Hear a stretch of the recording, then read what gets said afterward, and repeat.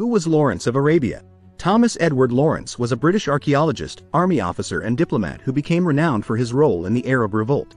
Born on the 16th of August 1888 in Wales, he worked as an archaeologist for the British Museum in Syria from 1910 until 1914. Soon after the outbreak of war that year, he volunteered for the British Army and was stationed at the Arab Bureau Intelligence Unit in Egypt.